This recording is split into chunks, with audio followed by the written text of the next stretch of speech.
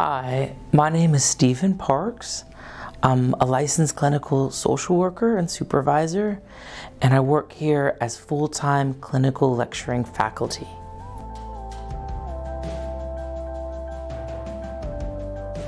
I was brought to the college out of clinical practice, and that's always been my specialty.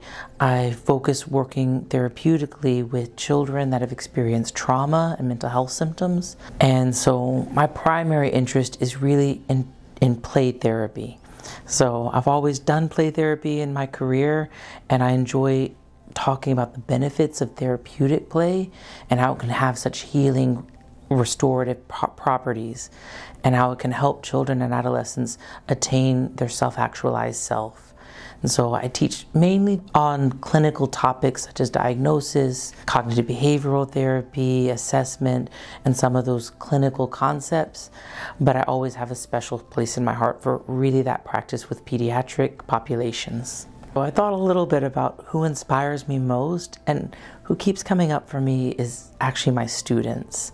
That each year I'm really inspired by the level of interest and advocacy that they keep walking in the door with. My students now don't want to just learn the system, but they really want to walk alongside us social workers in restructuring what that system looks like, what it could be.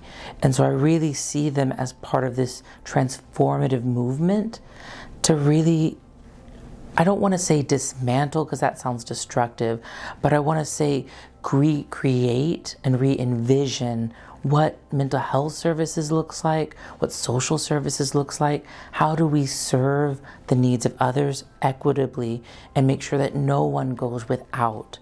And how do we rebuild our systems from political all the way down to the very ground level to recreate and make sure that everyone has a seat at the table and everyone gets the services that they need and deserve.